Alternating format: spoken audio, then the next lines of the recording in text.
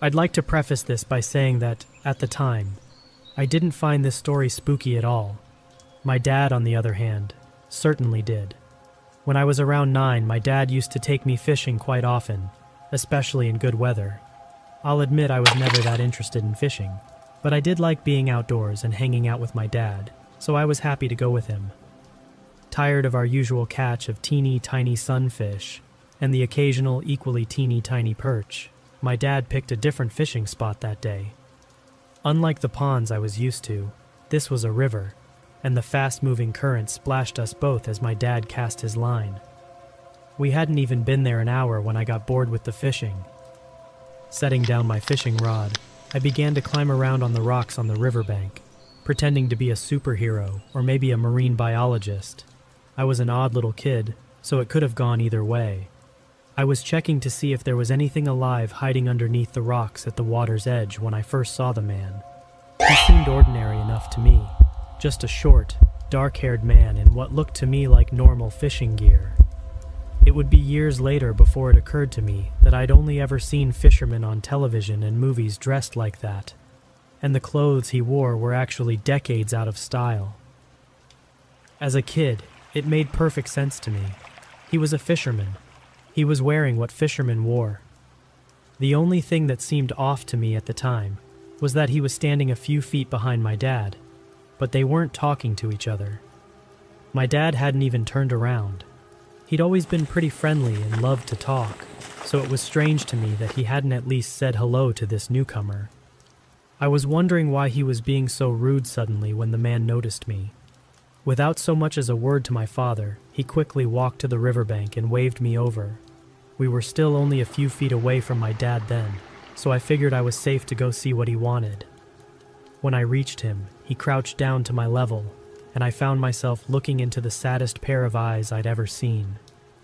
This man looked like he was having the absolute worst day of his life. He didn't sound any happier than he looked. You really shouldn't be playing so close to the edge, honey, he said somberly. Those rocks are slippery. You could fall in, and it's awfully hard to swim in a current that strong. You could drown. I remember being a bit put out that a random stranger was telling me what to do, and that he had implied that my doggy paddle wouldn't be enough in the event that I fell into the river. Nevertheless, he was staring at me so intensely that I assured him I would stay away from the rocks and went to pick flowers instead. My dad came to find me a little while later, confused as to why I'd given up jumping around on the rocks. When I explained that the man had told me not to play there, he frowned what man are you talking about? he asked. The man who was standing behind you, I answered, obviously. Suddenly, Dad didn't feel like fishing anymore. He abruptly picked up all of our gear and led me back to the car. As he was loading everything into the trunk, he told me we had been the only two people by the river all morning. I tried to argue that there had been another man there, that I had even spoken to him, but he shook his head. It's just been me and you, kiddo. Look, Ours is the only car in the parking lot. He was right, of course, and whether he believed what I said or not, he quickly decided we could spend the rest of our morning together at the closest Tim Hortons instead. We never went back to that river. I don't know whether it was because my dad was spooked or because he just didn't catch anything there, but all of our subsequent fishing trips involved familiar ponds and little fish. I do know, however, that I never forgot the man by the river. Knowing now that children are more likely to experience the supernatural, I wonder if he had drowned in that river, or maybe he lost a loved one to the current, and he was spending his afterlife preventing others from making the same mistake. Regardless, I hope he has moved on by now or at least found some peace. No one ought to be that sad for eternity.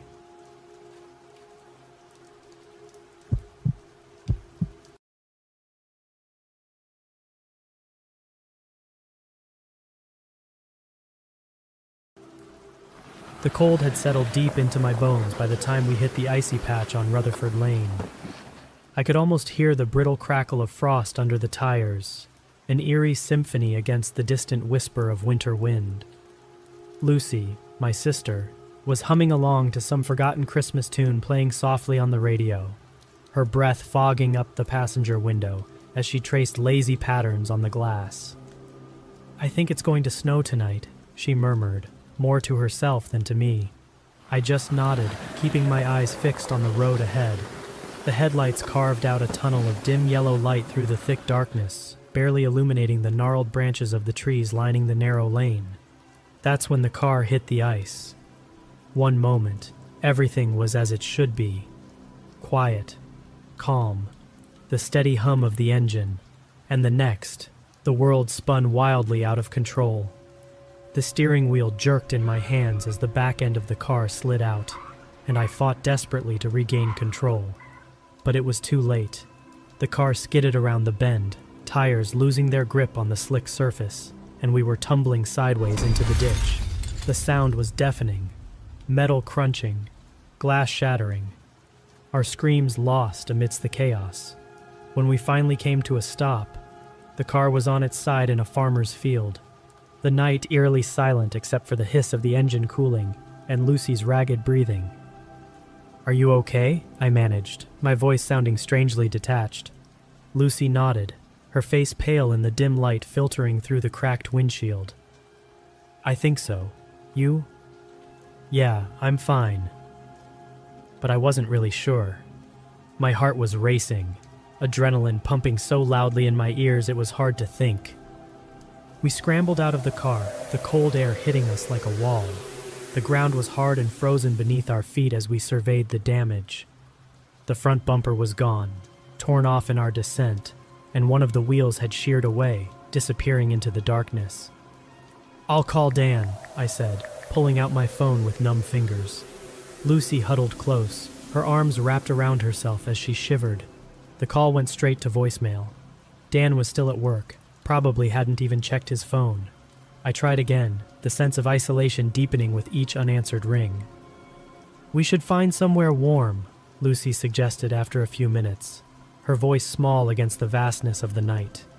Just then, headlights pierced the darkness, a car slowing as it approached our wreck. Relief washed over me until I saw the driver. A woman, middle aged and smiling kindly, rolled down her window. You girls need help? I explained our situation quickly, the words tumbling out in a rush. Drive to the village, she advised. Ask for my husband, Tom. He'll come back with a tow rope. It sounded like a plan, a lifeline, and as she drove off, promising quick help, I felt the weight of the night lighten slightly. But as the minutes stretched into hours with no sign of her or Tom, that fleeting sense of security evaporated like mist in the morning sun, leaving us cold, alone, and beginning to despair. Time seemed to stretch out into eternity as we waited in the frozen field. The occasional hoot of an owl, or the distant rustle of wind through the branches, was the only break in the silence that enveloped us. My phone was rapidly losing battery, and with each passing minute, the likelihood of Tom's arrival seemed to dwindle into nothingness. Lucy paced back and forth, her arms wrapped tightly around herself against the biting cold. What if she forgot about us? she asked, her voice carrying a tremor of real fear. I don't know, I replied, trying to mask my own concern. But we can't stay out here all night. Just then, the beam of headlights cut through the darkness once more, and a truck pulled up alongside our broken car. Two men stepped out, their faces shadowed, and voices carrying thick accents that I couldn't place. Need help? One of them called out, a smile playing on his lips that didn't quite reach his eyes. Something about the situation felt off. I hesitated, taking in their well equipped truck and the rope already in hand. We're waiting for someone, I said finally, my voice firmer than I felt. They seemed to consider this, exchanging a look that I couldn't read in the dim light. We can't leave you here, the same man insisted, stepping closer. The smell of oil and earth clung to them, a stark reminder of the wilderness that surrounded us. No, thank you, I said again, this time more forcefully. They paused, the atmosphere charged with an unspoken tension, before finally getting back into their truck and driving away. Relief washed over me briefly until I saw their headlights pause and turn back towards us. My heart sank. They returned, parking their truck with the engine still running. It's not safe for you here. Let us help, the man repeated, stepping out again, this time not waiting for an answer. Fear gripped me, icy and sharp as the wind. I stood my ground, though my body screamed at me to flee. Please, just leave us alone, I shouted, my voice echoing in the stillness. It was then, at that moment of peak desperation, that another vehicle approached a regular sedan, not a truck. A man jumped out, moving with purpose and authority. He didn't speak much, only working quickly to attach a tow rope to our car and affixing a spare tire. As he worked, I asked, Did you see anyone else when you pulled up? No, just you girls, he answered without looking up. Confusion and relief swirled through me. This was Tom, the husband of the woman who had stopped earlier. His arrival was so timely it felt almost miraculous, considering the unnerving encounter we had just endured. As he drove us to my boyfriend's workplace, my shoulder began to throb painfully, a delayed reaction to the adrenaline that had fueled me through the night. Tom's wife had sent him immediately, he explained, which puzzled me further about the passage of time that night. The last thing he said stuck with me, chilling in its simplicity. Sometimes help comes from where you least expect it, sometimes not at all. But tonight, it seems you needed a bit of both.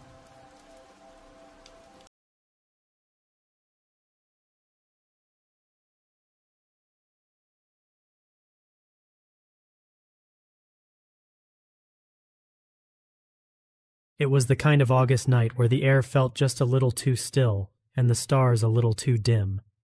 I lay in my hammock, bundled up in my sleeping bag, listening to the soft rustles of the forest around our campsite.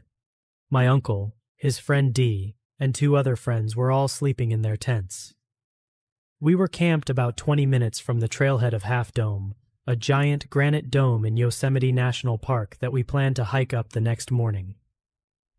Earlier that evening, we had set up our camp quickly. My uncle, who's 32 and always in charge of these adventures, made sure everyone knew what to do. Dee, who's about the same age as my uncle and just as outdoorsy, helped get the fire going. We roasted some marshmallows and told a few jokes, the kind that made everyone laugh until they forgot about the hike's early start. But here I was, suddenly wide awake at 3:30 a.m. I wasn't sure what had woken me up, but once I was awake, I couldn't go back to sleep. I lay there, looking up at the moon through the trees. It was unusually bright, casting eerie shadows on the ground and making the leaves glisten like silver. It almost felt like I was in a dream, everything bathed in a ghostly white light. Curiosity got the better of me, and I quietly slipped out of my hammock. I didn't want to wake anyone up, so I tiptoed around, feeling the cool air against my face. That's when I realized how silent it was. No crickets chirping, no rustles of small animals. It was like the forest was holding its breath. Deciding it was too spooky to stay out alone, I went back to my hammock. Just as I was about to try and sleep again, I heard it footsteps. Not the light, scampering ones of a raccoon or a squirrel, but heavy, deliberate human footsteps. I froze, listening as they moved around our campsite. My heart raced. We were supposed to be the only ones here. Unable to stay still any longer, I shook my uncle's tent. Uncle Mike, I whispered urgently. He grumbled, annoyed at being woken up, but then I saw his face change as he listened to the footsteps, too. He grabbed his flashlight and peeked outside. Stay here, he murmured, zipping up the tent behind him. I waited, every sound making me jump. After what felt like hours but was probably only a few minutes, my uncle returned. He looked puzzled. There's no one out there, he said, but his voice was uneasy. Were you walking around just now? I shook my head. No, I woke up because I heard it too. He frowned, thinking it over. Well, let's try to get some sleep. We need to be up soon anyway but as he settled back into his tent, I knew neither of us would sleep well. Whatever was out there, or maybe wasn't, had already stirred the night air into something strange. And so, with a mixture of fear and excitement, I lay back in my hammock, staring at the moonlit sky, wondering what adventures tomorrow would bring, and hoping the mysteries of tonight were just tricks of the light and shadow. As the clock struck 4:30 a.m., our alarms buzzed loudly in the still dark morning, Everyone groggily climbed out of their tents and sleeping bags, rubbing sleep from their eyes. The air was cool and crisp, perfect for hiking.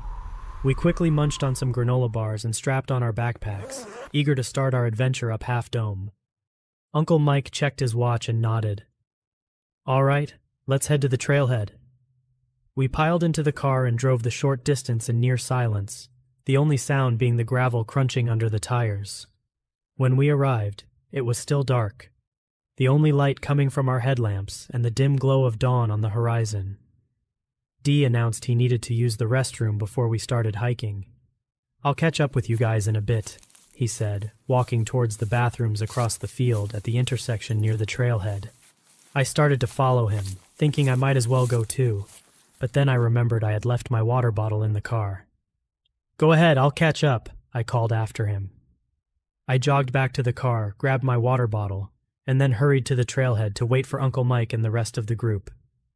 We all gathered, adjusting our gear, but Dee was taking longer than expected. He's probably just taking his time, Uncle Mike said, trying to sound unconcerned.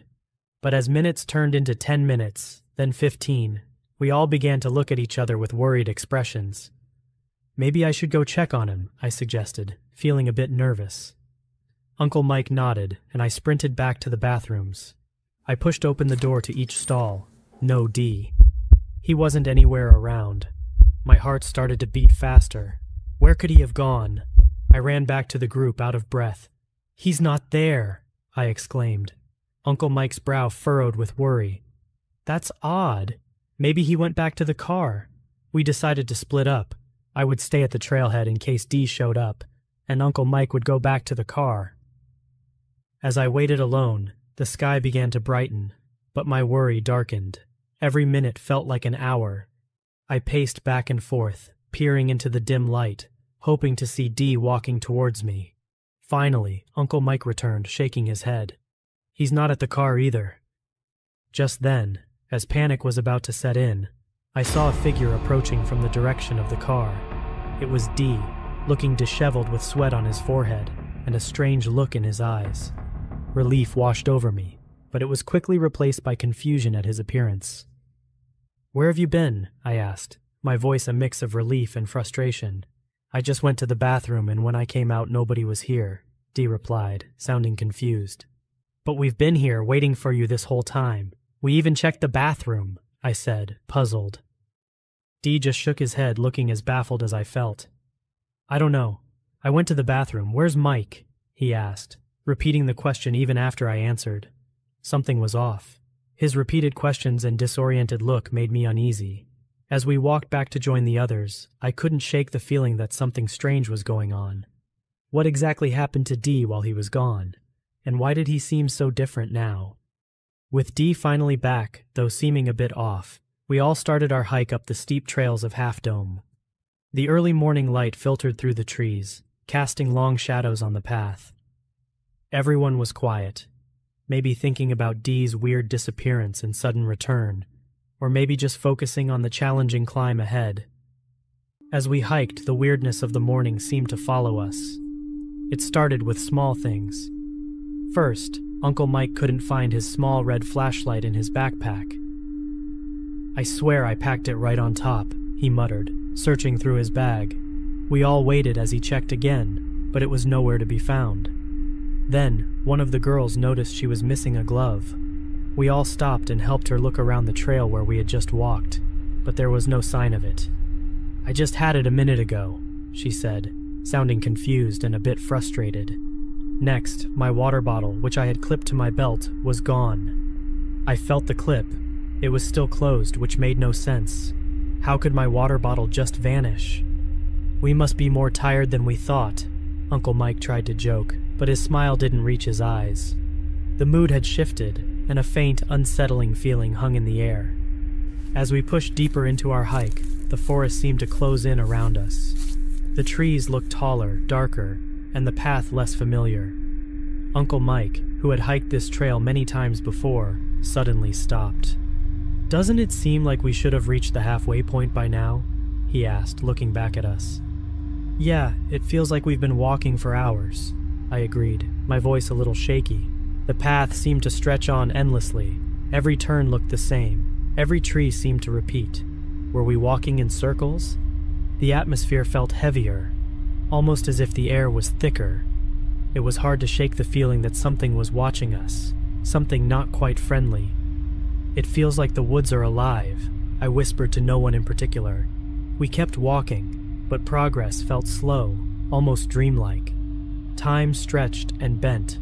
Uncle Mike stopped several more times, scratching his head and looking around. This is ridiculous, he laughed nervously. It's like we're stuck in some sort of loop. Eventually, after what seemed like an eternity, the trail began to look familiar again. Landmarks that should have passed hours ago suddenly appeared. Relief washed over us, but it was mixed with confusion and a touch of fear. How had we gotten so lost on a well marked trail? When we finally saw the parking lot through the trees, it felt like we had emerged from another world. The car was just as we left it, quiet and unassuming, yet it felt like a lifeline back to reality. As we drove back to camp, nobody talked much. Each of us was lost in thought, trying to make sense of the day's mysterious events. It wasn't just the physical items we had lost on the trail. It felt like we had lost a piece of our normal reality out there. That night, as I lay in my hammock looking up at the stars, the forest didn't seem so friendly anymore. I wondered if we'd ever really understand what happened on the trail that day or if some mysteries were meant to stay hidden in the shadows of Half Dome.